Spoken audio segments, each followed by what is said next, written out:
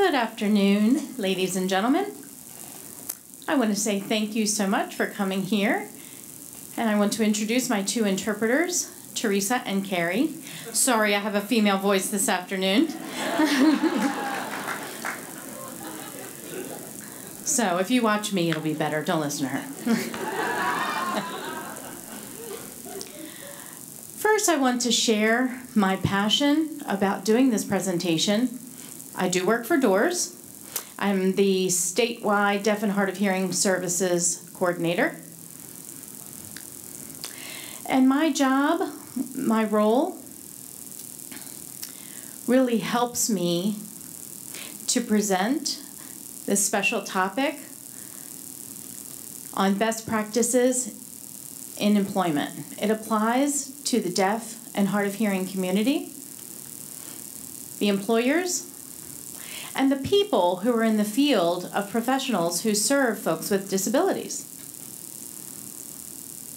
I believe that you already know the job challenges for deaf and hard of hearing people and what they have to face. You've often heard the term, hearing people don't understand me from our, our deaf constituents. They think that deaf people can't do this, or employers are not comfortable communicating with us. And the worst thing, oh my God, who's going to pay for it? And it goes on and on. When I hear these things and I share my passions with the deaf and hard of hearing community, our job is to try to teach people to how to overcome these situations. We teach them how to compensate, work harder, prove themselves, prove that they are qualified for, to perform the necessary job duties. We at DORS have wonderful counselors, people that help them, give them tools, and the support that they need. These people, who just happen to be deaf and hard of hearing, especially in the state of Maryland, we want to become independent taxpayers.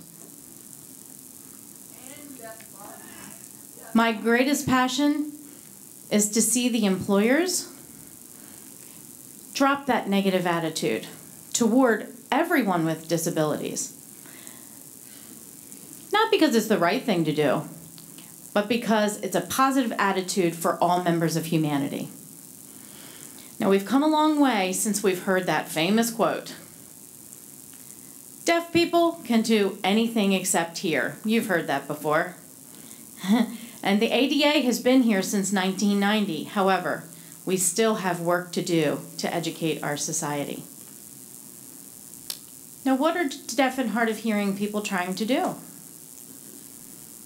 We believe that they need to have better understanding of business needs and to create a formal mechanism.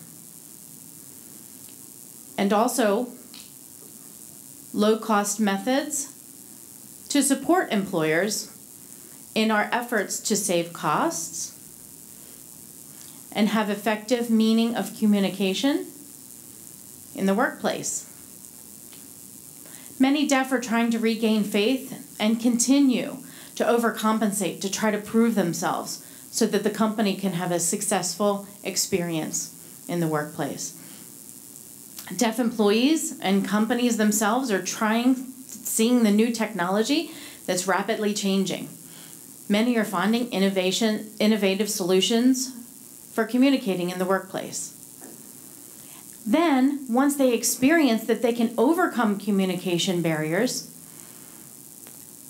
you often see my personal favorite quote oh, that expression loosely translated means finally they accept me. That's my passion. Choosing a winning strategy for employment success, that's where DORS is that's where we are best at that what we do best. We, the rehabilitation counselors of the deaf and hard of hearing, RCDs, we often help the consumer to prepare and more often determine barriers, problems that can occur, and help them by understanding their employer's concerns. Then we try to use strategies to minimize uh, the identified barriers and analyze the needs of the employers. We find that employers of the deaf and hard of hearing and the hard of hearing people themselves, everyone must compromise. We believe that this can be a win win situation. In fact, 90% of the time, I experience positive solutions. Because we also often give valuable tools that result in these winning strategies. And we have many expertise in education, business, and we believe in a proactive approach. Now, making it work.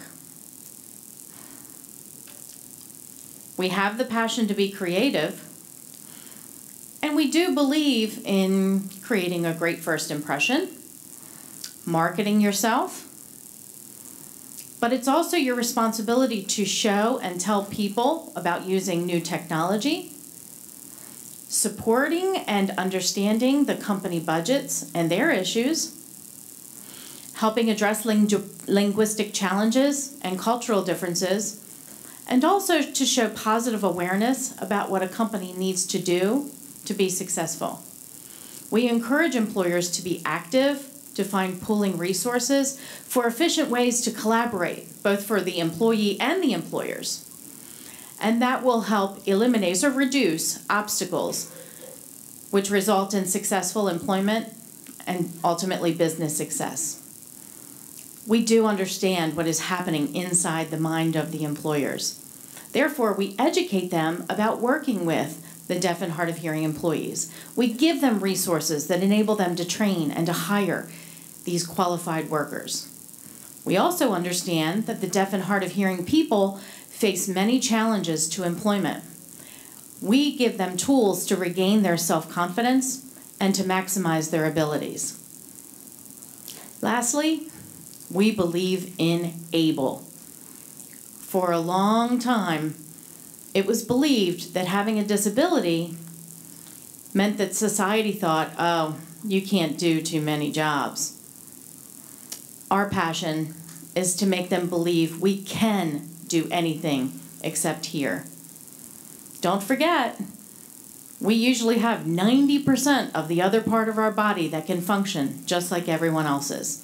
So that's what we can do. The only true disability that I know of is a bad attitude. So, thank you guys.